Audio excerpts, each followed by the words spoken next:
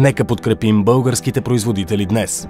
Ако едно от 10 домакинства закупи български мебели на стойност поне 200 лева, това ще компенсира спада в износа им за 2020 година.